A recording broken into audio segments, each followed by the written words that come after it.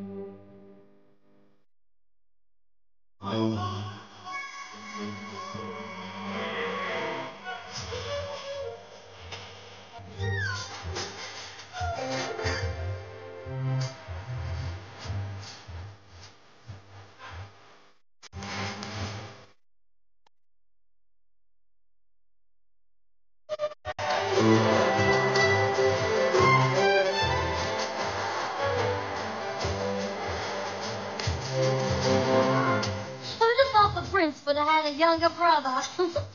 How old did you say you were? I'm six and a half. Well, I waited this long.